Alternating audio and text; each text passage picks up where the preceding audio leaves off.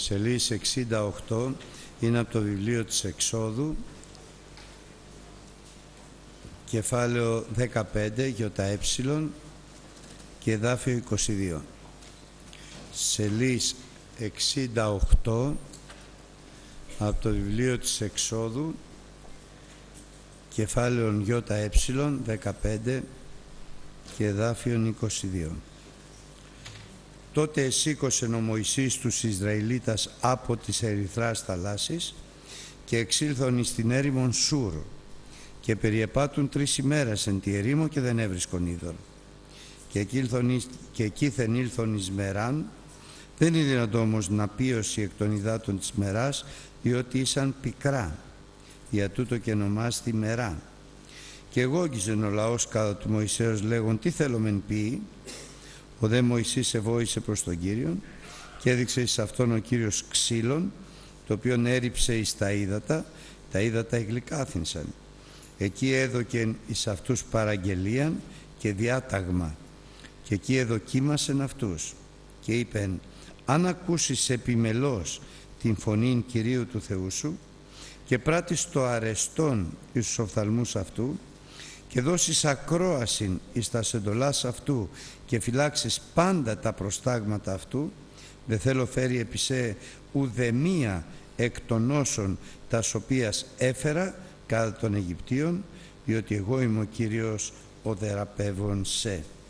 Και να πάμε και στη σελίδα 561 να διαβάσουμε από τον ψαλμό Ρογάμα 103 ψαλμός σελίς 561 Ρογάμα ψαλμός Ευλόγη η ψυχή μου τον Κύριον και πάντα τα εντός μου το όνομα το Άγιον αυτού.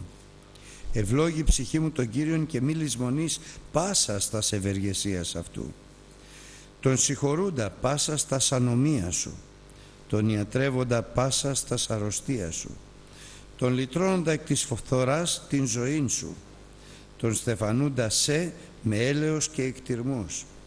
Τον χορτάζοντα εν αγαθής το γύρα σου. Η νεότη σου ανανεούται ως του αετού. Ο Κύριος κάμνει δικαιοσύνη και κρίση εις πάντας τους αδικουμένους. Εφανέρωσε τα σοδούς αυτούς εις τον Μωυσήν, τα έργα αυτού εις τους Ιούς Ισραήλ. Ικτήρμουν και λεήμων είναι ο Κύριος, μακρόθυμος και πολυέλεος. Δεν θέλει δικολογή διαπαντός σου, δεν θέλει φυλάτη την οργήν αυτού εις τον αιώνα. Δεν έκανε σημάς κατά τα σαμαρτία ημών, ουδέ ανταπέδοκεν εις ημάς κατά τα σανομία ημών. Αμήν.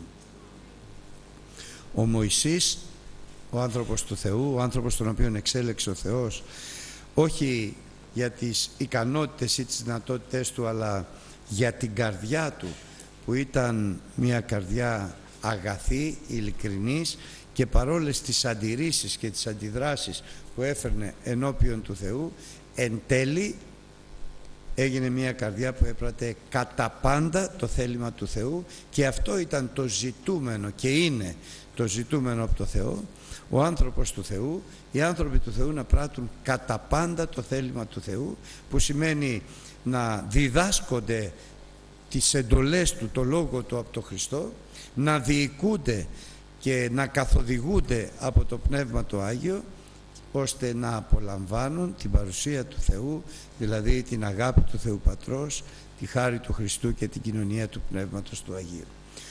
Τον Μωυσή λοιπόν χρησιμοποίησε ο Θεός και εξήγαγε μέσα από τον οίκο δουλείας και ταλαιπωρίας μέσα από την Αίγυπτο τότε τον λαό Ισραήλ όπου ε, στην Αίγυπτο κυβερνούσε ο Φαραώ που είναι προτύπωση του διαβόλου και είναι ο Θεός και άρχον του κόσμου τούτου και τους Αιγυπτίους που είναι οι δούλοι και τα παιδιά του διαβόλου ο κόσμος του κόσμου τούτου που δεν γνωρίζει και δεν θέλει να γνωρίσει άρα και δεν πράττει ποτέ το θέλημα του Θεού. Τους ελευθέρωσε πραγματικά με χείρα κρατεά και ξυπλωμένο βραχίωνα μέσα από πολλές πληγές πέρασε μάλιστα το λαό Ισραήλ και μέσα από την Ερυθρά θάλασσα όπου εκεί η σωτηρία ήταν πλήρης γιατί όταν εξήλθε ο λαός Ισραήλ πάνω από ένα εκατομμύριο άνθρωποι ε, τότε ο Θεός επέστρεψε τα ύδατα και ο λαός της Αιγύπτου μαζί με το Φαραώ πνίγηκαν μέσα στα νερά της Ερυθράς θαλάσσης.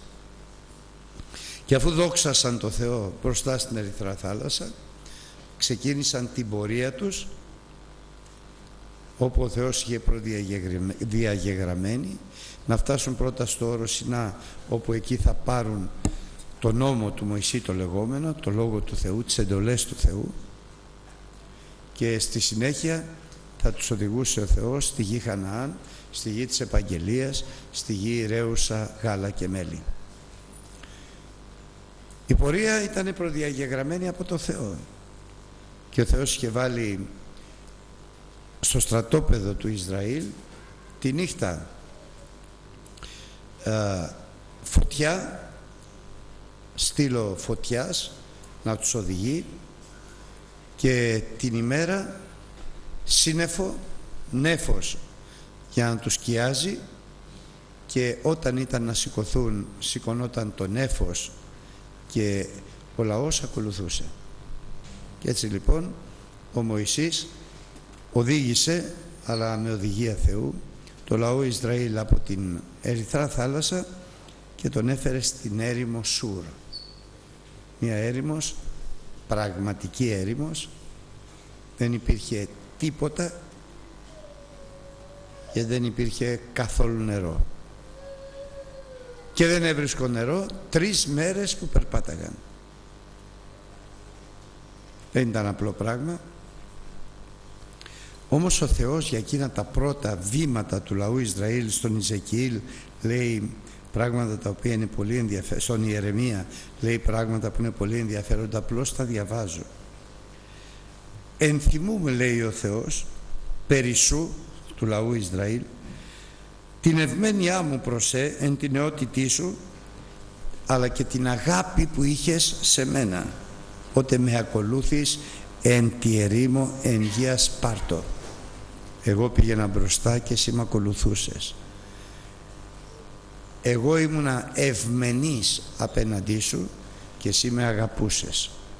Αυτό είναι η τέλεια σχέση του Θεού με τον άνθρωπο που θέλει ο Θεός και θέλει και ο άνθρωπος. Πρέπει να θέλει ο άνθρωπος. Το αποτέλεσμα. Ο λαός του Θεού τότε ήταν Άγιος. Ξεχωρισμένος από το Θεό. Ανήκες σε μένα ήσουν απαρχή γεννημάτων. Ό,τι το καλύτερο μπορούσα να βρω είπε ο Θεός έλεγε ο Θεός το έβρισκα μέσα στο λαό μου.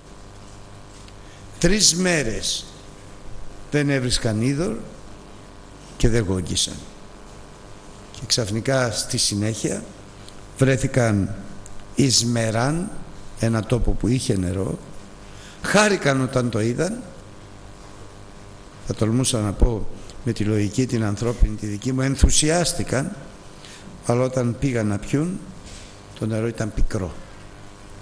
Απογοητεύτηκαν και στην απογοήτευσή τους ήρθε ο πρώτος γογγισμός στο Θεό. Και ο πρώτος γογγισμός στο Μωυσή. Μετά την έξοδο λέγοντας τι θα πιούμε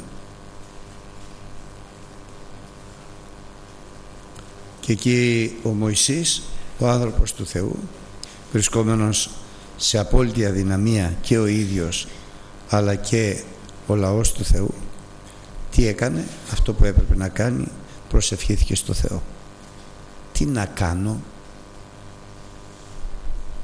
Και αυτό είναι αδερφοί αγαπητοί το πρώτο μάθημα που έδωσε ο Θεός μαζί με εντολές και παραγγελίες στο λαό Ισραήλ θα έρχεσαι σε δυσκολίες. Θα φτάνεις σε αδιέξοδο. Έστω και αν σε οδηγώ εγώ. Γιατί με ενδιαφέρει να σε ακούω να μου λες τι θα κάνω; Τι να κάνω; Τι θέλει ο Θεός; Συζήτηση. Προσευχή. Εξήτηση. Δεν θέλει έναν άνθρωπο να περπατάει μόνος του και όποτε σκέφτεται να δοξάζει, να ευχαριστεί, να παρακαλεί το Θεό θέλει έναν άνθρωπο που να περπατάει μαζί με το Θεό.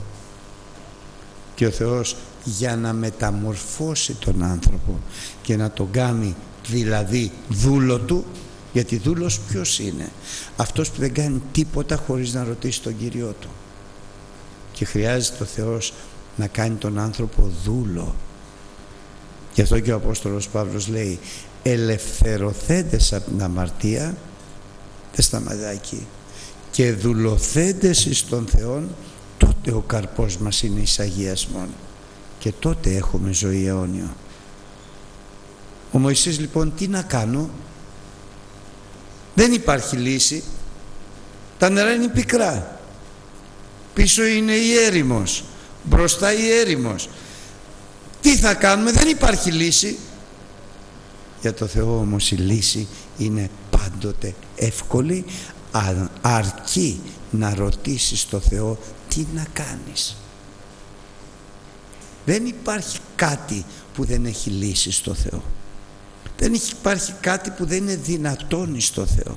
Δεν υπάρχει κάτι που δεν μπορεί να βρει τρόπο ο Θεός να σε ευλογήσει. Με μία προϋπόθεση τι θέλεις να κάνω. Γιατί αυτό που από ένστικτο ο Θεός ο άνθρωπος προσεύχεται είναι εσύ Θεέ μου τι να κάνεις και ο Θεός δεν θέλει αυτή την προσευχή. Θα τολμούσα να πω δεν του αρέσει αυτή η προσευχή δεν έχει καρποφορία αυτή η προσευχή προσευχή στην οποία ευαρεστείται ο Θεός δεν είναι τι να κάνει ο Θεός για μας αλλά τι να κάνουμε εμείς εν το ονόματι του Κυρίου. Εκεί ενεργεί πραγματικά ο Θεός με την αγάπη Του το ελεός Του και τα σπλάγνα Του. Τι θέλεις Θεέ μου να κάνω; Γιατί να φτάσεις στο αδιέξοδο ο Μωυσής ενώ θα μπορούσε να τον είχε ρωτήσει από την αρχή; Δεν τον ρώτησε τις τρεις μέρες που δεν έπινα νερό. Και ο Θεός τον έφερε σε αδιέξοδο. Να μην ξέρει τι να κάνει. Να μην υπάρχει λύσης. Γιατί ο Θεός θέλει να σε ακούσει. Να του λες τι θέλεις να κάνω; Εγώ τι θέλεις εσύ να κάνω; Και όταν τ' άκουσε η λίστα ήταν πολύ εύκολη. Του λέει το βλέπεις αυτό το ξύλο; Λέει το βλέπω. Ρίχνει το μέσα παίρνει το ξύλο το ρίχνει μέσα γλυκάθηκαν τα νερά μα τόσο εύκολο ήτανε όταν σου λέει ο Θεός τι να κάνεις όλα είναι τόσο εύκολα όταν αποφασίζεις εσύ τι να κάνεις όλα είναι απόλυτα δύσκολα αδύνατο να συμβούν και θα φτάσεις σε τείχο, σε αδιέξοδο. Εκεί ήταν το πρώτο μάθημα. Και πάνω σε αυτό το πρώτο μάθημα τι να κάνω έρχεται ο Θεός τώρα και του δείχνει όχι πως θα γλυκάνει τα νερά αλλά πως θα είναι δούλος του ώστε ο Θεός να ενεργεί στη ζωή του θαυμαστά. Και του λέει ο Θεός αφού εδοκίμασεν αυτούς και αφού έδωκε σε αυτούς παραγγελίαν και διατάγματα πρόσεχε λαέ του Θεού εάν ακούσεις με επιμέλεια την φωνή Κυρίου του Θεού σου και δεν πρόκειται να την ακούσεις αν δεν του ζητήσεις να την ακούσεις αν δεν εξητήσεις να την ακούσεις. Εάν λοιπόν εξητήσεις να ακούσεις τη φωνή Κυρίου του Θεού σου τότε θα την ακούσεις πρόσεχε με επιμέλεια. Να μην αφήσεις λόγο να πέσει κάτω αν ακούσεις με επιμέλεια την φωνή Κυρίου του Θεού σου ώστε να πράττεις το αρεστόν εις τους οφθαλμούς αυτού όχι να πράττεις το αρεστόν εις τους δικούς σου οφθαλμούς. Να μην κάνεις αυτό που εσένα σ' αρέσει ούτε αυτό που αρέσει στη γυναίκα σου, στα παιδιά σου, στους ανθρώπους αλλά να κάνεις αυτό που αρέσει στο Θεό και αυτό που αρέσει στο Θεό θα το γνωρίσεις αν ακούς με επιμέλεια τη φωνή Κυρίου του Θεού σου και δώσεις μεγάλη προσοχή ακρόαση εις τα σεντολάς αυτού ακούς τη φωνή Κυρίου του Θεού σου με επιμέλεια για να πράττεις το αρεστόν ενώπιον αυτού τότε θα ακούσεις θα προσέξεις, θα κατανοήσεις τις εντολές Του. Τι εντέλεται ο Θεός σε σένα, τι σε διατάζει; Γιατί εκείνο που έχει σημασία αδελφοί αγαπητοί δεν είναι ούτε τι θέλουμε, ούτε τι πρέπει, ακόμη ακόμη ούτε τι θέλει ο Θεός. Εκείνο που έχει σημασία είναι να είσαι δούλος για να σε διατάζει. Να γνωρίσεις τις εντολές Του, τις διαταγές Του. Εάν λοιπόν γνωρίσεις τις διαταγές, τις εντολές του Θεού και φυλάξεις τα προστάγματα αυτού τότε εγώ σου υπόσχομαι και όταν ο Θεός υπόσχεται είναι ναι και αμήν. Τότε εγώ σου υπόσχομαι καμία από τις αρρώστιες τις οποίες έφερα στους Αιγυπτίους δεν θα έλθει σε σένα γιατί εγώ θα είμαι ο θεραπεύων εσέ.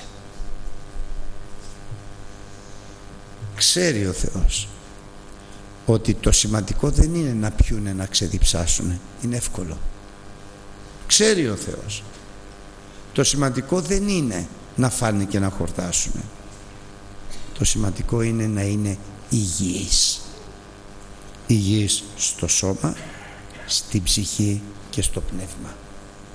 Και υγιής ο άνθρωπος γίνεται μόνο όταν ο Θεός είναι ο θεραπεύων αυτόν μόνο υγιής θα γίνει ο άνθρωπος όταν έχει εδώ στον κόσμο καλό γιατρό. Αν δεν πας σε καλό γιατρό υγεία δεν έχεις. Και πολλές φορές καμαρώνουμε αλλά και ψάχνουμε να βρούμε τον καλύτερο γιατρό για μας, για τα παιδιά μας, για τα αδέρφια μας. Όμως έρχεται ο Θεός και λέει τώρα κάτι καινούριο. Καινούριο για το λαό Ισραήλ. Πιθανόν και καινούριο για μας. Ότι μπορείς να έχεις όχι σωτήρα σου, λυτρωτή σου, Κύριό σου και Θεό σου τον Ιησούν Χριστόν αλλά μπορείς να τον έχεις και προσωπικό γιατρό σου. Το πιστεύεις; Προσωπικό ιατρό σου. Να γιατρεύει το σώμα σου από κάθε πάθηση να γιατρεύει την ψυχή σου από κάθε απελπισία και να γιατρεύει και το πνεύμα σου από κάθε λάθος. Να διορθώνει τα ελίποντα να διορθώνει τα κακό κείμενα προσωπικός γιατρός. Εγώ χάρηκα γιατί κάποτε μου είπε ο Κύριος προσωπικός φίλος σου και είπα ναι κάποτε μου είπε στην αρχή προσωπικός σωτήρας σου και είπα ναι και σήμερα μου είπε όχι σήμερα πριν λίγες μέρες προσωπικός γιατρός σου. Και είπα λες πού πω λέω λες αμήν αδερφοί προσωπικός γιατρός σου να σου διορθώνει. Ό,τι ελάττωμα υπάρχει στο σώμα ό,τι ελάττωμα υπάρχει στην ψυχή σου και ό,τι ελάττωμα υπάρχει στο πνεύμα σου όλα να τα διορθώνει. Με προϋπόθεση όμως γιατί ό,τι κάνει ο Θεός το κάνει μέσα από το Λόγο Του. Εάν με επιμέλεια ακούς τη φωνή Κυρίου του Θεού σου εξητείς να ακούς τη φωνή Κυρίου του Θεού σου το Λόγο του Θεού με επιμέλεια ώστε να πράττεις τα αρεστά ενώπιον αυτού τότε θα σου αποκαλύπτει τις εντολές του και όταν θα εκτελείς τις εντολές του τότε ο Κύριος θα είναι ο προσωπικός σου γιατρός ο θεραπεύων σε. Και αυτό το ήξερε και ο Δαβίδ ο άντρας κατά την καρδία του Θεού γι' αυτό και έψαλε. Και μ' αρέσει ο ψαλμός του Δαβίδ αυτός γιατί είναι συγκλονιστικός. Ευλόγει η ψυχή μου τον Κύριο. Έχει μια ευγνωμοσύνη στο Θεό δεν θέλει η ψυχή του να φοβάται, να σκέφτεται, να αγωνιά για το παρόν, για το μέλλον, για το χτες, για το σήμερα, για το αύριο, για εκείνη την κατάσταση, την άλλη κατάσταση. Στοπ! Ευλόγει η ψυχή μου τον Κύριο και όλα τα εντός μου το Άγιο το όνομα αυτού. Ευλόγει η ψυχή μου τον Κύριο. Μην αγωνιάς. Να θυμάσαι τις ευεργεσίες Του. Γιατί δεν σταματάνε οι ευεργεσίες του Θεού. Σήμερα ο Θεός έχει ενθαρρυντικό μήνυμα. Μη φοβού μόνο πίστευε. Ευλόγη ψυχή μου τον Κύριο γιατί πρώτον συγχωρεί τον συγχωρούντα πάντοτε. Τον συγχωρούντα πάσας τα ανομία σου. Πάσα ανομία παράβαση στο λόγο του Θεού είναι αμαρτία. Και αμαρτία δεν έχει ευλογία κατάρα έχεις στη ζωή σου. Δεν είσαι σύμφωνος και σύμφωνη στο περπάτημα με το Λόγο του Θεού. Είσαι σε παράβαση αμαρτία και ανομία. Και μόνο το αίμα του Ιησού Χριστού καθαρίζει μας από πάσης ανομίας. Γι' αυτό ο Χριστός από εκεί ξεκινάει. Γιατί αν είσαι σε αμαρτία δεν μπορεί να συνεχιστεί το έργο του. Δεν μπορεί να είναι ο προσωπικός σου γιατρός το συγχωρούντα πάσα στα ανομίας μου. Τον ιατρεύοντα πάσα στα αρρωστίας μου. Σου λέει μου όμως. Τον θεραπεύοντα πάσας. Τα ακούς; Πάσα στα αρρωστία σου. Προσωπικός γιατρός του Δαβίδ. Δεν τον έχω δει να αρρωσταίνει ποτέ το Δαβίδ. Μέσα στη γραφή. Και το ομολογεί είναι αυτός που με συγχωρεί σε όλες μου τις αμαρτίες είναι αυτός που θεραπεύει όλες μου τις αρρώστιες είναι αυτός που με, που με λυτρώνει από τη φθορά τη ζωή μου από παγίδες του εχθρού από το θάνατο. Είναι αυτός που με στεφανώνει με ευλογεί με το δικό του έλεος τα σπλάχνα και τους εκτιρμούς του. Είναι αυτός που φανέρωσε στο Μωυσή την οδόν την οποία έπρεπε να περπατήσει.